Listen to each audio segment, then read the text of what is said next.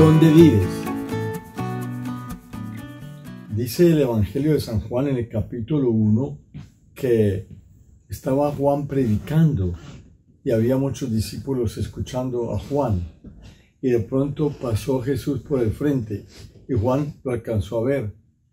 Y entonces empezó a gritar Juan, miren, ese es el Cordero de Dios. Ese es el que quita el pecado del mundo.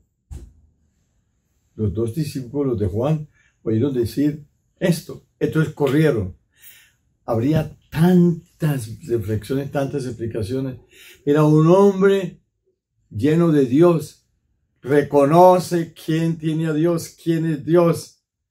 Cuando pasó Jesús, porque aquí dice, cuando que, vio que pasaba Jesús por frente de él. Entonces empezó a decir, miren, ese es el Cordero de Dios, ese es el que quita el pecado del mundo.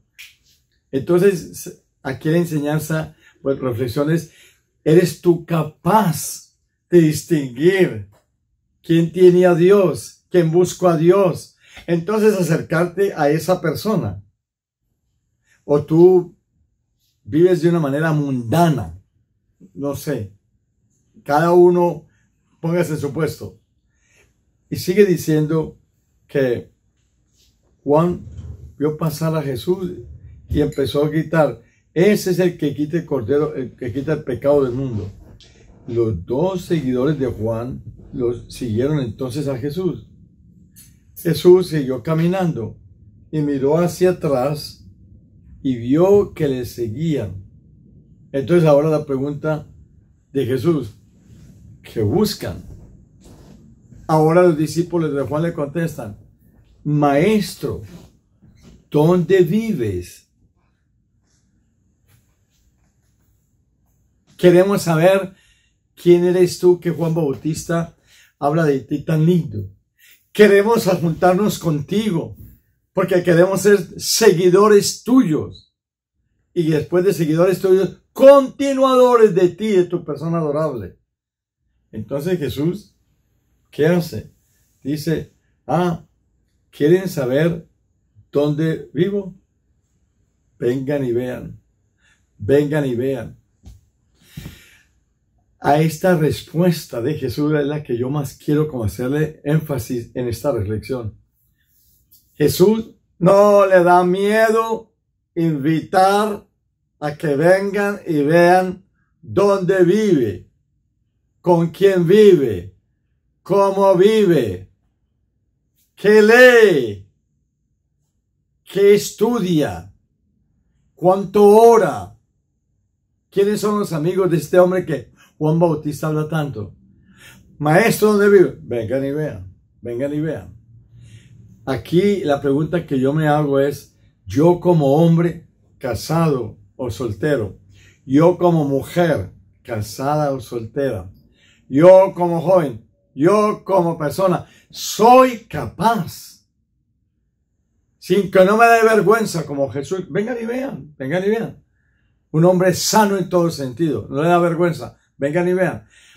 A ti te daría vergüenza que tus parientes más cercanos te vean dónde vives, o, o, o, los parientes más cercanos, cualquier persona tú te avergüenzas de decir, venga y vea dónde vivo, cómo vivo, con quién vivo, qué como, cuáles son mis preferencias, qué hablo, cuáles son mis aficiones, mis hobbies.